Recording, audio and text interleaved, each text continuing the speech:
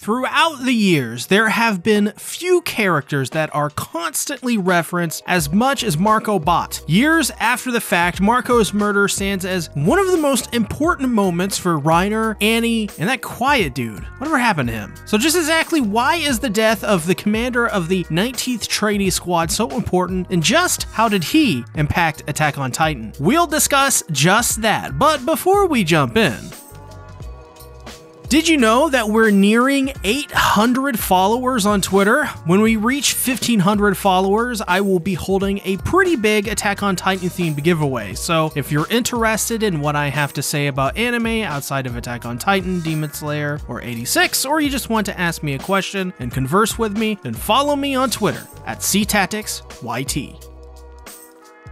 Since Marco's death occurred so long ago, way back in season 1, I think it's important we get caught back up on who exactly Marco Bodt is. Well respected by many people, it's really hard not to immediately be gravitated to someone like Marco. A pure and noble person, he is idealistic and most importantly grounded and self-aware. This led to Marco often being someone who, in the face of conflict, could confront it and diffuse it without much damage. He is also 7th among the top 10 scoring candidates fitting in between John, who ranked 6th, and Connie, who ranked 8th. His goal is to join the military police as serving the king to him would be a genuine honor. Though unlike John, who wants to live a life of comfort and ease, Marco does it to genuinely want to serve his people. That being said, even during their training, Marco had a high aptitude for battle. In a mock battle, Marco wouldn't eliminate some titans and leave them for the rest of the cadets. The reason for this is because in a real battle, he wanted to act as a distraction so that others could take them out for the kill. This surprised many people who then wanted Marco to become a leader of some kind, but he instead argues that it should be someone like John instead. Marco treated the situation very calmly and used this to not bring up himself but others around him like John. This is important as Marco becoming friends friends with John was a natural fit for the two. Marco was a very supportive friend to him and could motivate him in such a way to do better, but also was able to figure out his weaknesses so that he could improve upon them. In many ways, Marco is the best friend that John ever had, and his death may have stunted John's growth in the short term. Though nothing good can last forever.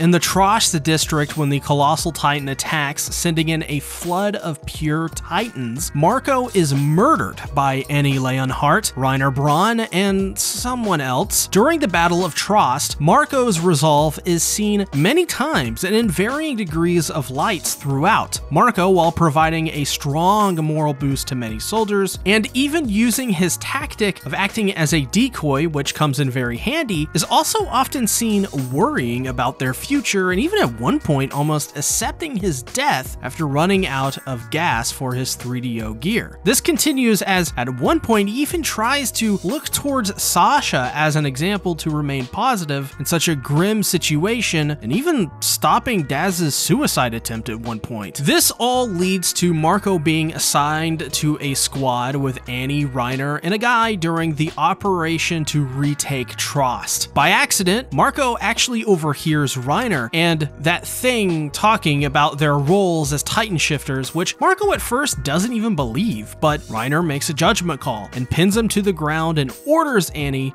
to remove his 3DO gear. Then they tie up Marco and watch as they let a Titan eat him. His final words were, We haven't even tried to talk this out yet. I think what makes Marco's death so striking and memorable is those final words. Even when realizing that Reiner and the life form were most likely Titans and the enemies, he held out hope they'd be able to hash it all out. So how did his death impact those he was murdered by? Well, for Annie, who was commanded by Reiner to remove his 3DO gear, she was obviously traumatized by this event, and she obviously in some form regrets what she did to Marco, even to this day. For puny, puny man, he simply stood by and watched. He didn't make much of an effort, and even in moments before his own death, all he could do was cry out for Reiner and Annie to save them. A pathetic human being who deserved everything he got. For Reiner, much like a lot of things he's done in life, he's come to regret his actions, especially what he did to Marco. His death caused Reiner to develop a split personality disorder, and moments after the Titan killed Marco, Reiner, out of rage and confusion, kills the Titan. The trauma of watching his friends die right in front of him due to his own decision simply broke Reiner. This ended up becoming one of, if not the most scarring and traumatic moments of Reiner's entire life, and rightfully so. A nice little detail of Marco's death helped actually exposed Annie as being the female Titan. She took Marco's 3DO gear, and because Armin helped him set it up, he was familiar with it, thus, when asking Annie about her 3DO gear being so similar to Marco's, she sells him a story on how she found it. Yeah, I bet Annie, just like how I found that link to Mikasa Cross Annie fanfic. Joking aside, due to this slip up, they were able to get a jump on the female Titan, which ended up causing Annie to harden and trap herself inside a crystal for nearly a half a decade. Though Marco's most important impact on the series is, of course, the conversation after Paradis and Marley choose to unite to take down Eren Yeager. Four years after his death, Reiner tells them about his final words, and as John, Marco's best friend, says, this is something they should have always done. They were all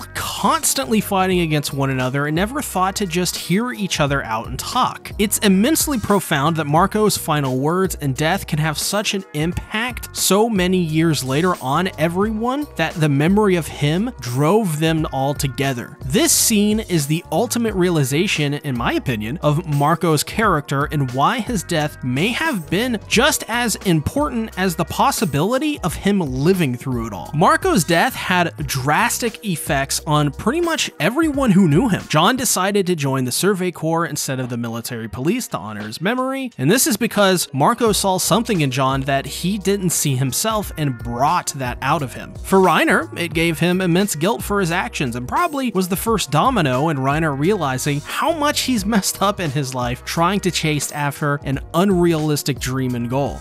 This simple side character had that much of an effect on the story, and you only have to wonder what his effect on Attack on Titan could have been if he survived. If you think about it, Marco living would have many drastic effects on so many different outcomes. First of all, if he was successful in having talks with Reiner, Annie, and the Third Wheel, maybe they would have joined the side of Paradis. This would be a huge boon for them as not only would they learn the origins of Titans and Marley much earlier in the story, but they would also gain the power of the armored, female, colossal, and jaw Titan, making them pretty much unbeatable. Plus, they would be able to go into the basement much quicker, saving so many people from death. Just think about it. Without Marco dying, you'd be saving Ymir, who wouldn't be eaten by Porco. Erwin wouldn't have to charge in, as the Beast Titan surely couldn't take on that many Titan shifters at once. Levi would still have a girlfriend. Good for Petrus, he deserves it. Hange would still have Sawney and Bean, so on and so forth. Attack on Titan would be that meme where the story of AOT would just be much shorter without his death. And I'm sure you realize it too. It's funny because Isayama released an illustration of what Marco would have looked like in the year 854 if he survived. Looking at that image, I think about what his role would be like in the series. Much like Sasha was the beating heart of Attack on Titan, of course, you can check my video out on Sasha in the cards above, but I believe Marco would fit into the very same role that Sasha's character did, pretty much. Obviously, with much less goofiness and eating things like a vacuum, Marco would be the voice of reason in the trio of John, Connie, and Sasha, while John would be the leader. And if that doesn't suit your fancy, he could very well just be in the same squad as Reiner, Annie, and that one dude I forgot the,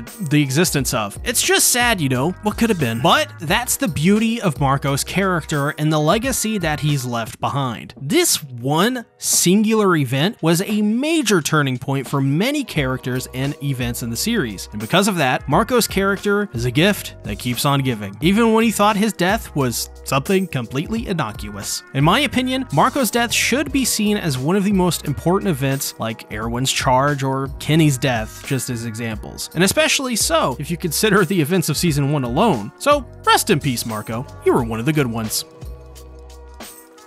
With that being said, at 50 channel members, I will produce a One Piece series where I review and talk about One Piece. As well, you get exclusive access to unique badges and emotes you can use during live streams. And thank you to new channel member Lord of Dragon 555. If you enjoyed this video, then check out my video on Floch Forster or my video on Gabi Braun. Thanks for watching. Bye bye.